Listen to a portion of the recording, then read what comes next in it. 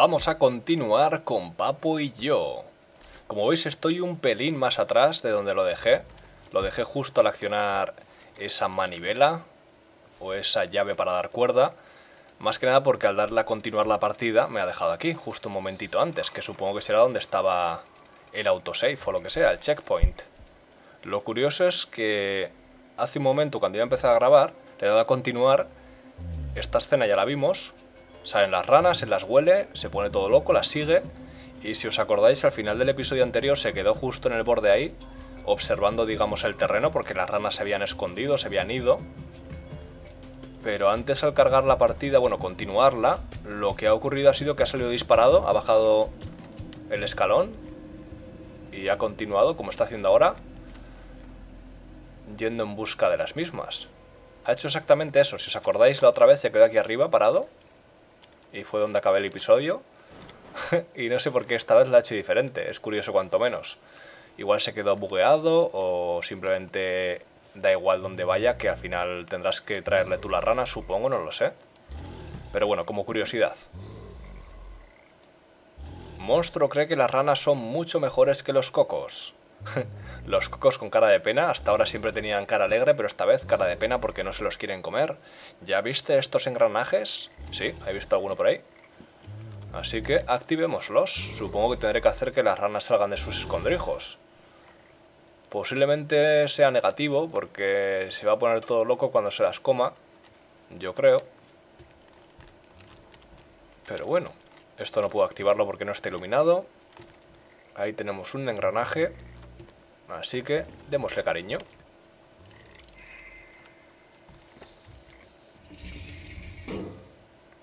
Vale, se conecta el tubo. Y él lo que hace es... Pirarse a dormir.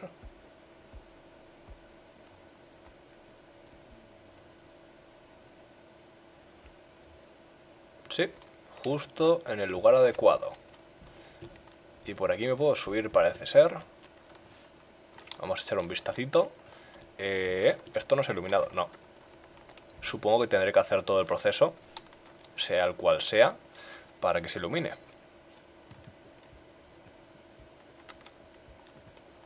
Mm, vale, por aquí no tengo camino, simplemente tendré que venir después o quizás hay algún otro método otra forma de llegar, pero no es esta desde luego.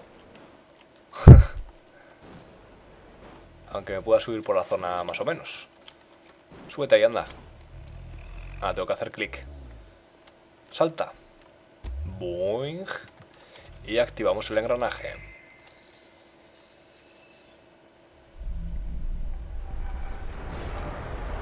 Ah, mira, y bajan los edificios. De modo que ahora sí puedo pasar. Ah, pero no tengo ni que subirme a la escalera, ¿o sí? Ahí tenemos una plataforma de las que tiene que activar el señor este. Y se ha ido en busca del coco. Ah, yo quería saltar encima de él para venir aquí. Supongo que vendrá desde el otro lado o algo. Yo creo que saltando encima de él hubiera llegado, pero... Habrá que hacerlo del otro modo. Eso sigue sin iluminarse. Y eso es lo que he activado antes, el engranaje ese. Y aquí tiene cocos el señor. Vamos a hacer que active la plataforma. Ya que, mira, sí que puedo llegar a eso de arriba, ahora que lo veo. ¡Ay, las ranas están ahí dentro! Las ranitas están ahí dentro. Entonces vamos a probar primero esto. Para ver qué ocurre. No, no quiere el coco. ¡Qué capullo! Pues nada, tendremos que subir y activar ese engranaje que supongo que nos dará acceso a las ranas o algo. Y le daremos una. O la llevaremos a ese punto por lo menos. Ya que no quiere el coco. Mm. Me da que no llego, o sí. No, no llego así. Y los engranajes creo que no se pueden digamos, separar. Yo creo, no lo sé. Vamos a probarlo. Estaban por aquí. Una vez los conectamos, creo que se quedan conectados, ¿no? Ah, es que este era otro. Este era otro diferente. No me había fijado yo bien. El que he activado antes no era este. Era otro. Entiendo. y ahora sí que podemos subirnos por aquí y subir al otro lado. De acuerdo. Tiene sentido, ahora sí.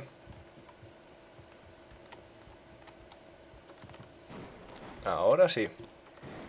Y activamos este otro engranaje.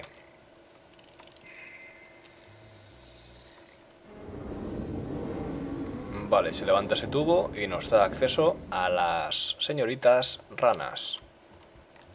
Uy. Hola, ranitas. Tenemos ahí una caja. Una especie de diana. Vamos a leer lo que nos dice. Ranas, tómalas o déjalas con delicadeza. Aplástalas contra la pared para que desaparezcan. ¡Qué cruel! Practica tu puntería con el blanco de la pared. Suena cruel, pero bueno, hay que probarlo, ¿no? Lo que pasa es que igual en limitadas o habrá infinitas. Mm, pensaba que iba a ser más enérgico el señor Kiko. Hombre, es una rana que pesará sus 20 kilos o...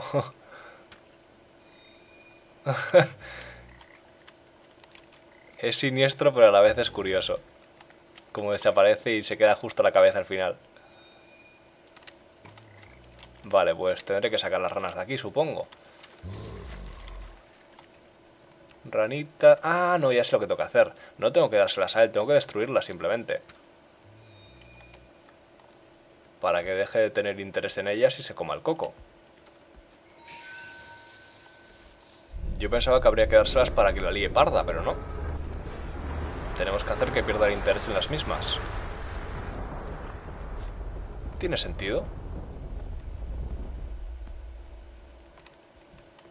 ¿Qué te vas a dormir? ¿Al lado de los engranajes? ¿O paso por aquí?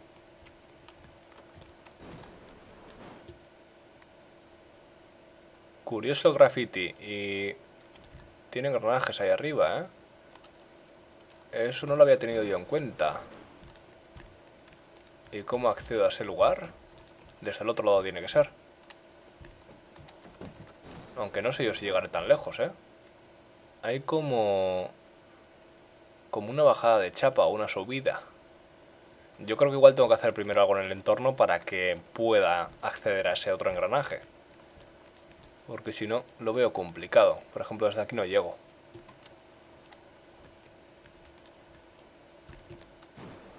Bajaré por aquí. Ahí tenemos... aquí había escalera, ¿vale? Ahí tenemos ranitas. Supongo que debería destruirlas antes de que el señor se las coma. O quizás las puedo usar a mi favor para que adquiera interés y se ponga aquí. Que me temo que es lo que hay que hacer. Entonces cogemos una. Lo siento, amiga. Chof. Cogemos otra. Ah, hay infinitas. Vale, entonces nada. Quería romper dos y dejar la última para meterla aquí dentro. Entra ahí. No, pues te lanzo entonces. Me da que vas a morir. Espero que no. Hace allí como que no, ¿eh? Kiko. Lánzala bien, hombre.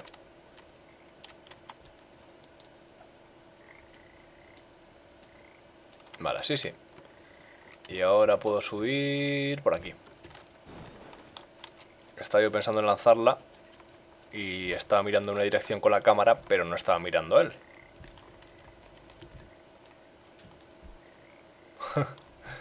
Vaya sitio se ha buscado. Vale, pues al hacer esto algo pasará. Y seguramente le permitirá escuchar o ver la rana.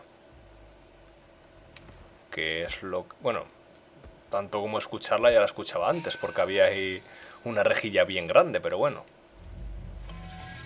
Ajá, y salen escaleras por ahí. Que me dan acceso a otro engranaje más. Y supongo que activará ¿Eso qué es? No sé qué pinta ahí eso. Que activará las plataformas. Las plataformas no, he visto la plataforma y he pensado plataforma, no. Los engranajes, perdón. O las llaves para dar cuerda que hay por ahí. que no se pueden utilizar porque están de color negro. Y quiero pensar que ocurrirá eso, que podré activarlas y algo ocurrirá en el entorno para seguir avanzando.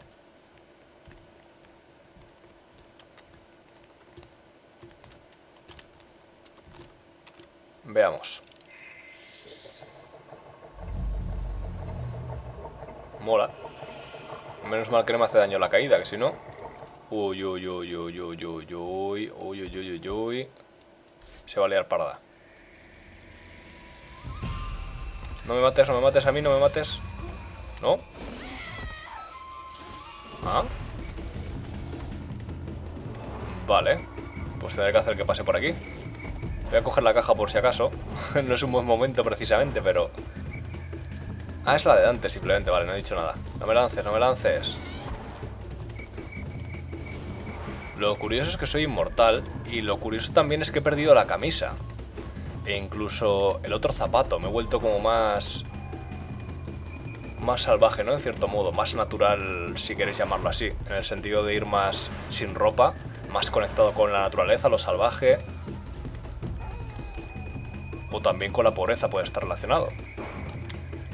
Dado que estamos en unas favelas. No sé si tengo que conseguir que entre en estos lugares. Entra y... Sí, parece que voy activando de ese modo los engranajes. Engranajes no, en este caso son llaves de dar cuerda. Y estoy sacando cajas, que son plataformas. Estaba pensando que igual tenía que hacer que le caiga eso encima. Eso que hay ahí arriba. Pero parece ser que no, que lo que hago es... Vale, ahí está el otro engranaje. El otro engranaje no, la otra llave, que no sé bien ni lo que digo. Perdón, ¿eh? es que estoy concentrado y no... Se me cuela, se me cuela. Mis disculpas. Pues eso. Tengo que subirme yo a recoger algo. A esa islita. bastante simple e intuitivo. Lo único... Ahora entrar por mí, ¿no? Ah, bueno, pero me lo dejan ahí pausado, digamos, hasta que... Acciono todas las plataformas. Son majos. Para que no me esté lanzando por ahí.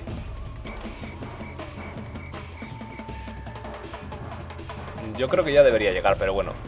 Solo por activar todo. Hagámoslo. Aunque creo que este ya lo había activado. ¿No? Sí. Ven aquí, papo. Hagámoslo de nuevo por si acaso. Ah, vale, lo que hago así es atraparle y me queda por aquí una cajita.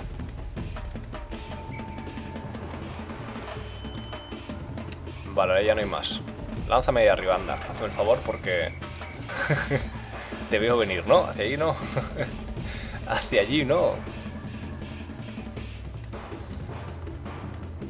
El hecho de no poder morir le quita cierta tensión a la situación, supongo. La hace más cómica que, que peligrosa.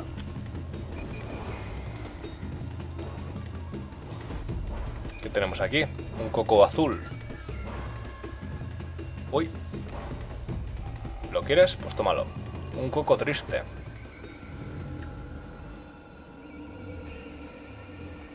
Le va a dar todo el bajón, ¿no? Ha echado la rana.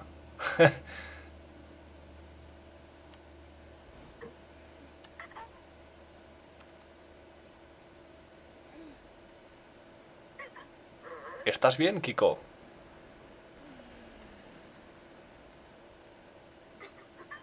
Oh, ¿tan mal?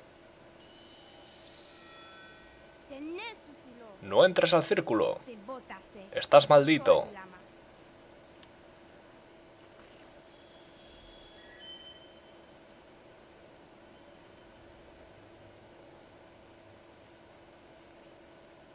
Es curioso porque soy el maldito. ¿Qué te pasa, mujer? Voy a entrar al círculo.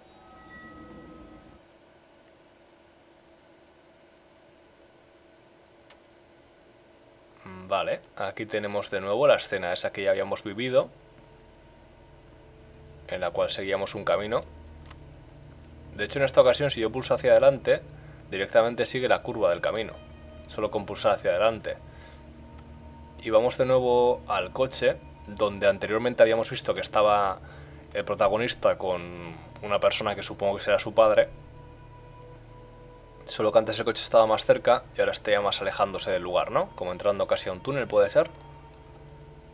Aunque la persona está fuera del coche, mi supuesto padre, y su sombra es precisamente la del monstruo, que ya lo sabíamos de antemano que era una representación del mismo. Es algo básico, vamos. Papo.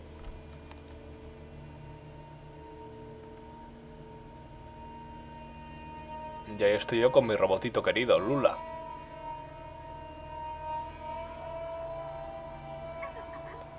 No temas, Kiko, yo te protegeré.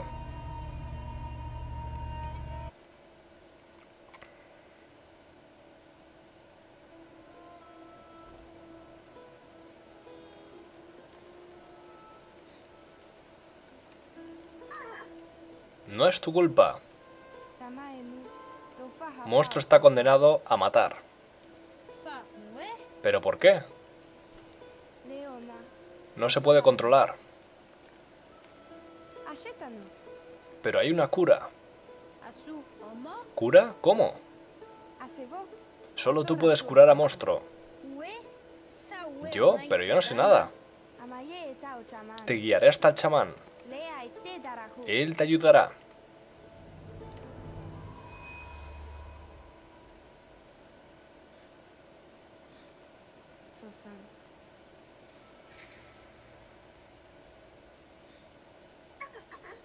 No te preocupes, Kiko, podemos hacerlo juntos.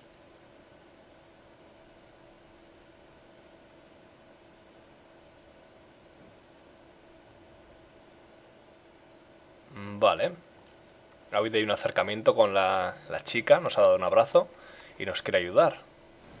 En primer lugar quiero hacer un inciso relativamente cómico y es que me he reído cuando he dicho lo de que ha echado la rana porque precisamente me ha recordado una especie de metáfora o eufemismo para decir vomitar, que nunca nadie lo ha usado yo creo, pero puede quedar bien. No voy a echar la rana, voy a vomitar.